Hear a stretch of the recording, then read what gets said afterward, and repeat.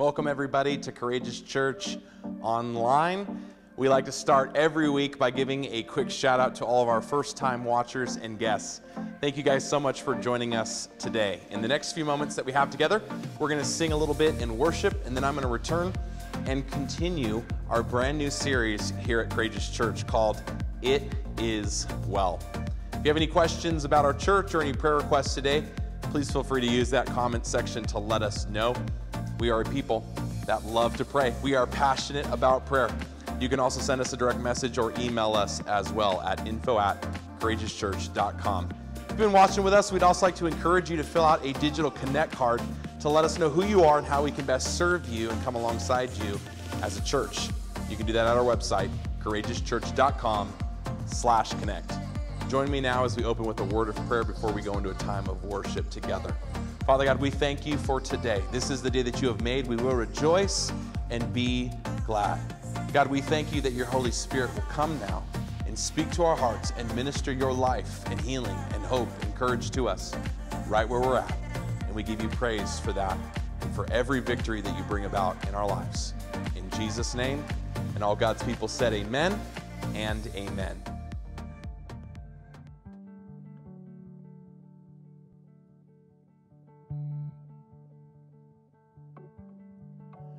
I fix my eyes upon the cross. I'm reaching out with all I've got. I'm letting go to start again. I need your love, that's why I'm here. Waiting outside my life, it calls. So while I'm here, I'll give my all. You are my peace within the storm. Here at the cross, I find my home.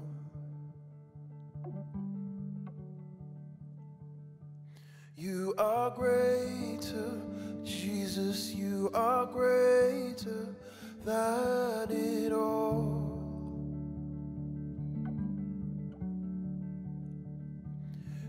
Are greater, Jesus, you are greater than it all, than it all. Grace and mercy found me. Oh, the blood of Jesus is greater.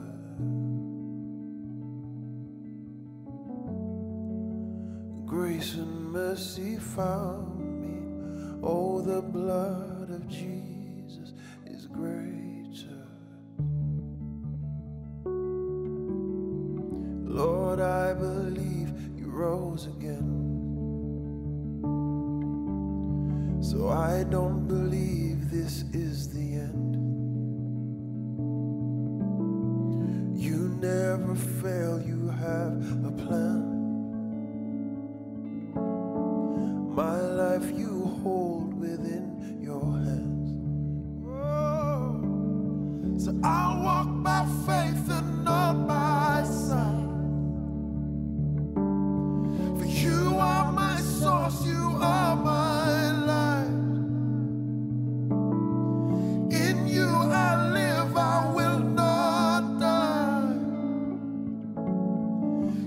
stretch these wings, now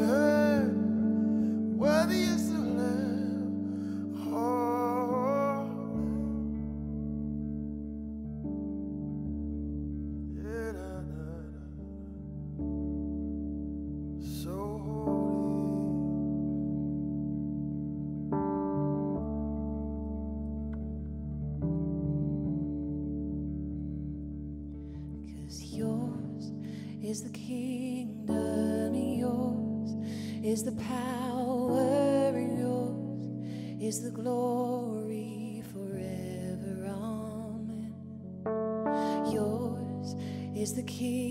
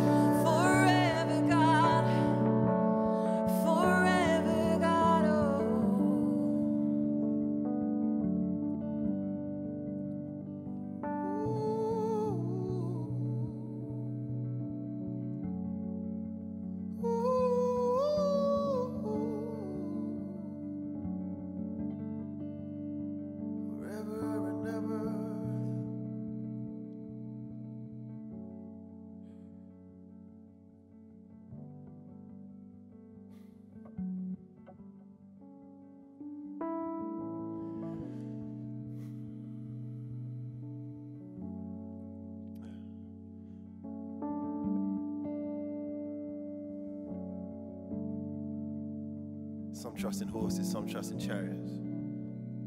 But we will trust in the name of our Lord. Who is this King of glory? The Lord God strong and mighty. Who is this King of glory? The Lord God mighty in battle. Yours is the kingdom, yours is the power, and all the glory forever.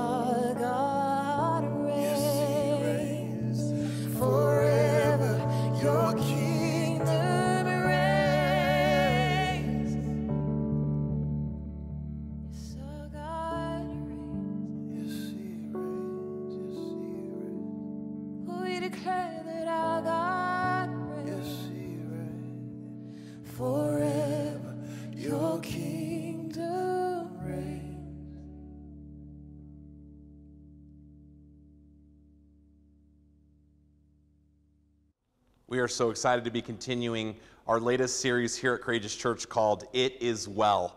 Throughout this series, we're going to talk about our soul and what it means to care for it in the way that God designed us to.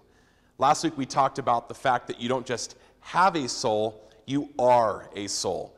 And as a living soul, God wants you to prosper and be in good health. We looked at three realities that we need to build our life upon being the beloved of God, knowing that He wants all things to go well with us, and knowing that He wants us to be in good health.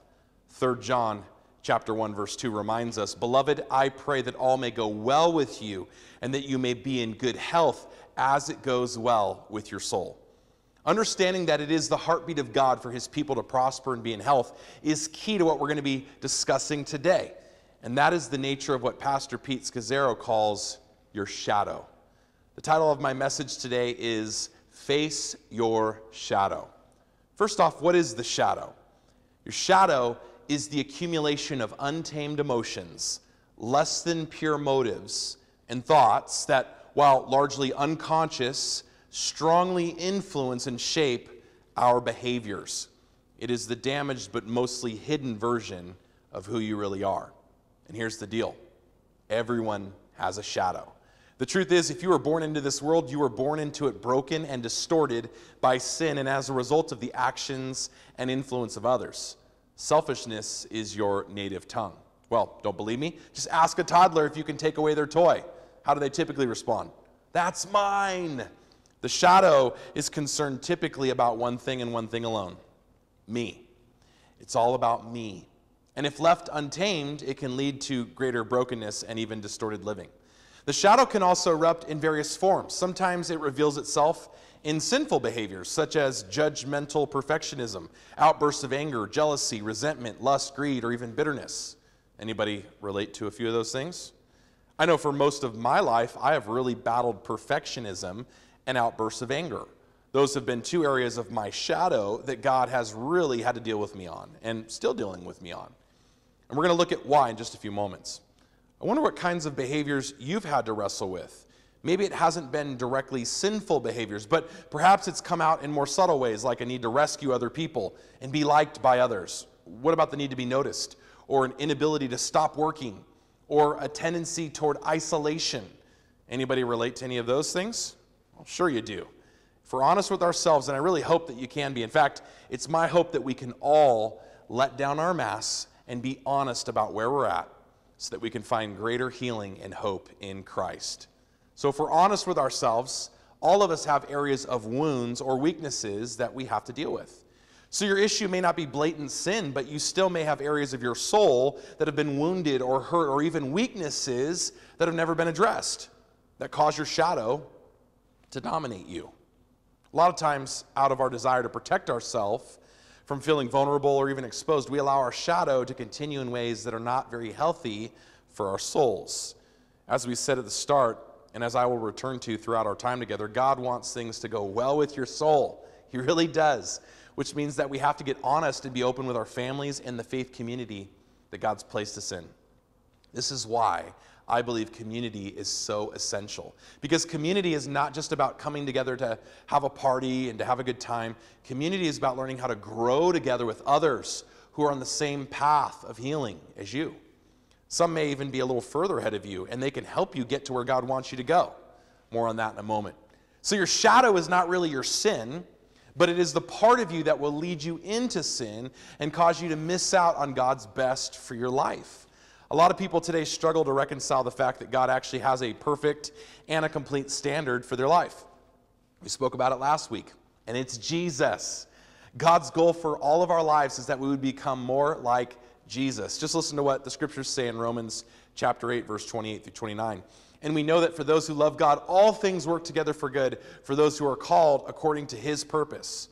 For those whom he foreknew, he also predestined to be conformed to the image of his Son, in order that he might be the firstborn among many brothers. Did you catch the language Paul uses here to describe God's goal or purpose for your life? It's to be conformed to the image of the Son. People of God, that's the goal, that we would continue to look more and more like Jesus. So, how do we do that? Well, we have to face our shadow. Today, I want to make our time together particularly helpful and practical by looking at a few things we need to understand about our shadow, but also a few things that we can do about it as well. To begin, I want to make this statement to us You are more than your shadow. Typically, in Christianity, we see two major camps regarding our shadow. The first camp typically says things like, I am totally bad and depraved and terribly sinful, and no good thing dwells inside me. Well, we see that in Romans chapter 7, verse 18, and we see that that is particularly true. The second camp tends to declare things like, I am totally good, I am a new creation in Christ, a saint who is wonderfully and uniquely made. We see that is also true according to 2 Corinthians 5:17 and Psalm 139. Both views have elements of truth in them, but holding on to one without the other leads us into biblical distortion. To have a healthy perspective about who we are, including our shadow side, we have to hold both together in a healthy tension.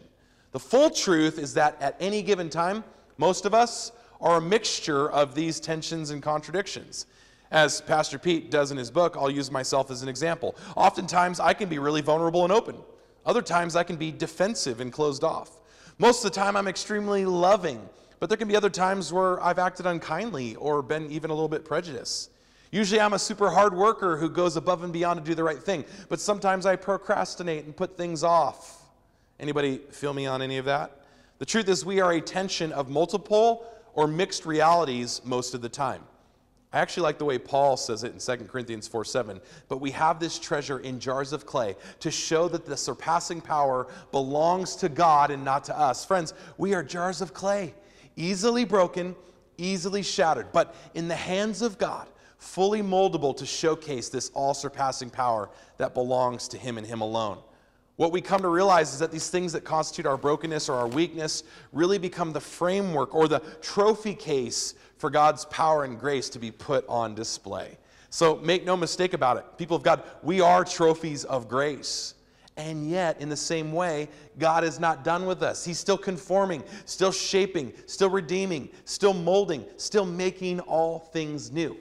And I love that about Jesus. And I love that that's what he invites us to. He invites us into a living relationship with him where we learn to yield and surrender our lives more fully to his lordship and care each and every day. So we don't ignore our shadow, we face it. But we do so knowing that we are more than our shadow. But what happens when we choose to ignore our shadow? Well, how do we typically see this represented in our life, in our daily life? We see it come out in denial in minimizing, in blaming yourself, blaming others, rationalizing, distorting, or even projecting our own hurts and fears onto others. When this happens, you'll become defensive and unrealistic about where you're really at and how your soul is truly doing. Ultimately, you'll begin to put up walls and lean on defense mechanisms to cloak and mask yourself from truly being seen and known. But the truth is this God wants you to know Him and be known by Him. And the way that happens is through intimacy. The difficulty with intimacy is that we don't know how to be intimate. In other words, we don't know how to let people see us and love us the way God desires us to be loved. And as a result, we have a hard time loving others the way God wants them to be loved. We spoke about this a little bit last week when I talked about learning and understanding your love language. Additionally, intimacy requires honesty and transparency and vulnerability and allowing things about yourself that you've tried to keep hidden to come into the light. And that's scary. And it involves you risking letting people down or even causing them to think differently about the real you. I have a pastor in my life, and he always says this Jason, you have to have people in your life that know you and know you. What do I mean by that? You need people that can tell you no, as in N O. And you need people that know you, that K N O W U. In other words, people that you're honest and real with. So let me ask you do you have any of those kinds of people in your life? If not, you need to seek them out. They're not just going to show up and say, Hey, I'm here to mentor and help you. The truth is, you have to pursue a relationship with people that you can be your full self with. And this sometimes requires an investment of time. This is one of the reasons people, I believe, ignore their shadow because it takes too much time to acknowledge it and be real with other people they trust. It's much easier to just get on with your business and to move along and pretend like things are fine. But hear my pastoral heart on this. Don't do that. Don't go on ignoring what's happening beneath the surface of your life. It's not worth it, and it will only serve to destroy you and the people you love. Ignoring your shadow will also cause you to be blind to the shadow of others. This blindness causes us to idealize certain people as if they don't have a shadow like the rest of us. We often feel worse about ourselves as a result, falling into a quicksand of introspection in which we sink even deeper under the weight of our own shadow. Or what happens is that we become judgmental of others' imperfections, even gossiping about them out of our own jealousy and insecurity. We forget that they too have a shadow that leaves them feeling as inadequate and as vulnerable as we do. We see this oftentimes with celebrity worship or when we place people up on a pedestal and then we're hurt or disappointed when they fall or fail us because we've been blinded to the fact that they have a shadow just like us and we didn't see it. Or maybe we even chose not to see it or not to believe it.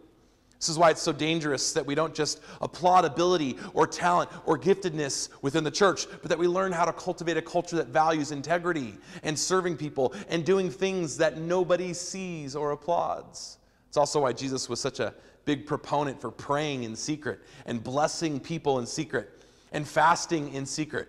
We do these things not to be seen by others, but to be seen only by God. And in return, it helps us to develop a healthy hidden life in Christ Jesus, which is so crucial, guys. So, what happens when we choose to face our shadow? Well, number one today, we break the shadow's hidden power. The truth is this you cannot change what you are not aware of. Can I repeat that again today? You cannot change what you are not aware of. In his book, The Emotionally Healthy Leader, Pete Scazzero says, exposing the shadow to the light of Jesus is the first and most important step we must take in order to receive the gift of choosing to face our shadow. 1 John 5 7 says this This is the message that we have heard from him and proclaim to you that God is light and in him is no darkness at all. If we say we have fellowship with him while we walk in darkness, we lie and do not practice the truth. But if we walk in the light as he is in the light, we have fellowship with one another, and the blood of Jesus, his son, cleanses us from all sin. Walking in the light means bringing your skeletons out of the closet and having them dance at the party. Friends, that's the invitation we see in Jesus. It's to come into the light, it's to walk in the light, it's to remain in the light. And the scriptures tell us here that if we do that, we'll have fellowship with each other.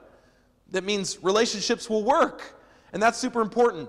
And it says that the blood of Jesus will cleanse us from all sin, not just some, but all sin. Number two today, we discover the shadow's hidden treasures. In Isaiah 45, verse 3, God promises, I will give you hidden treasures, riches stored in secret places. This promise is especially true when we choose to enter the dark places of the shadow and allow the places to become, or allow those places to become tools in our service and ministry to God. A lot of times, what we think are our greatest strengths can actually also be our greatest weaknesses, and vice versa. We see this in the life of Paul, the apostle. Paul was headstrong, assertive, bold, confident, even stubborn at times for the sake of the gospel. But those things considered strengths could also be his greatest weaknesses and sometimes got him into arguments and into trouble. And yet, it was precisely Paul's weaknesses that God used all the more. Paul often remarked about God humbling him by allowing a thorn in his flesh to continue. We don't know exactly really what that was, but listen to Paul's comments about it in 2 Corinthians chapter 12. Three times I plead with the Lord about this, that it should leave me, but he said to me, My grace is sufficient for you, for my power is made perfect in weakness. Therefore, I will boast all the more gladly of my weaknesses, so that the power of Christ may rest upon me. For the sake of Christ, then, I am content with weaknesses, insults, hardships, persecutions, and calamities. For when I am weak, then I am strong. Did you catch that today? When we are weak, we are strong. God's power is made perfect in our weakness. So, as it turns out, Paul's shadow was not a source of shame. Instead, it became a source of healthy boasting, becoming the conduit or the channel through which Jesus' power and life could flow through him. Church, may it be said of us that when we are weak, we are actually strong. This, oft, this, is often why I believe God wants to encourage us to be strong and courageous because it's His strength, it's His courage resting upon our lives, it's His power being made perfect in our weakness. This is why we can actually find and value the secret treasures of our shadow. So, in closing today, I want to encourage you to stay with Jesus as you face your shadow. Each time you make a choice to face rather than ignore your shadow, you follow Jesus to the cross. The cross is often an experience of nakedness, vulnerability, pain, scourging, loneliness, fear, darkness, and it always leads to death. There are definitely seasons when God's going to use these things to, ex- to strip us and expose yet another layer of our shadow. The most important task or thing that we can do during this time is to wait on the love of the Father, just as Jesus did while hanging on that cross. So we wait, we remain, we endure, we abide, just like Jesus did. Friends, here's some good news for you today.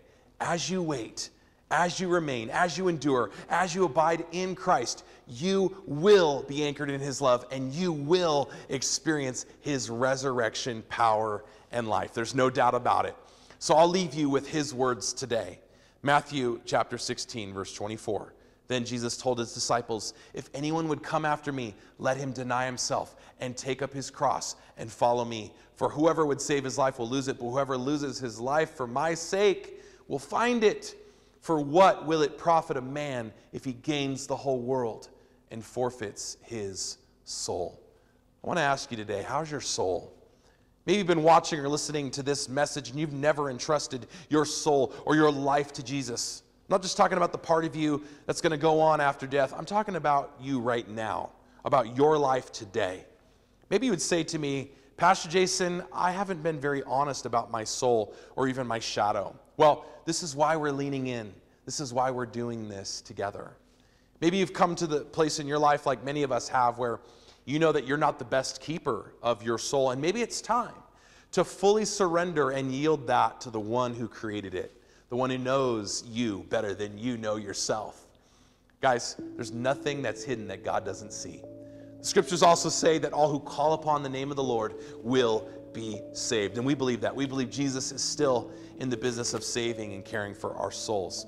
If you're ready to say yes to that reality today, we want to invite you to pray this prayer with us. And it goes like this Jesus, Savior, save me. Save me from myself. Save me from all the things that have kept me bound. I believe and confess that you are the Son of God. I believe that you died on that cross for me and that God raised you to life again. Jesus, I ask that you would give me a new life of freedom and hope in you. Teach me your ways and care for my soul. Fill me with your Holy Spirit and make all things new. If you just prayed that with us, we want to say congratulations and welcome to the family. For those that just said yes to Jesus for the first time, We know that you are going to need some serious prayer and help in the days ahead, and we'd love to come alongside you as a church and help you. And here's how. You can go to courageouschurch.com slash connect to fill out a digital connect card. This will help our team know how to best follow up with you and pray for you in the days ahead. We also want to come alongside you and help you take a few next steps. Speaking of those next steps, if you just said yes to Jesus for the very first time, we would be absolutely honored to help you get started in your journey to becoming a more courageous disciple and follower of Jesus. And here's how you can do that. You can go to courageouschurch.com slash following Jesus to sign up for our online discipleship course. Here's the cool part. You can start anytime and complete it anywhere. You can use your smartphone or your computer or tablet, participate in video sessions that we've designed to help you engage core essentials to what it means to be a disciple of Jesus. It's that simple, but we believe it will absolutely change and revolutionize your life.